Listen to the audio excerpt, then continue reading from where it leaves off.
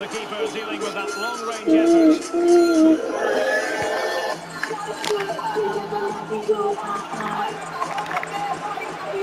Excellent refereeing. Advantage in Big operation. Playing and winning the ball to boot. Might be through here.